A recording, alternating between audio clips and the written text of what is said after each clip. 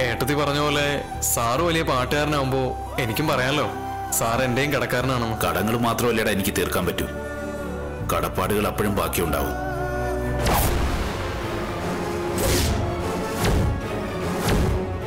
ഇതാണ് മോളുടെ അമ്മ അല്ലേ?